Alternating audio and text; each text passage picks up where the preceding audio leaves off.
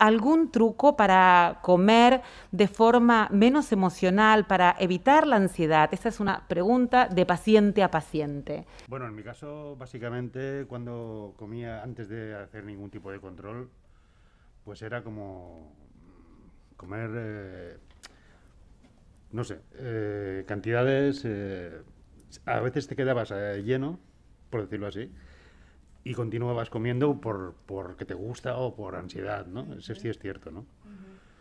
Y bueno, esto un poco como ha variado, ¿no? Con los años y eso.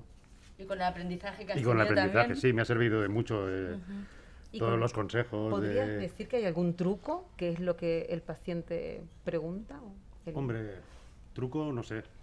Yo diría que es más eh, relajarte, ¿no? Eh, tomar, tomarte las cosas con más tranquilidad y...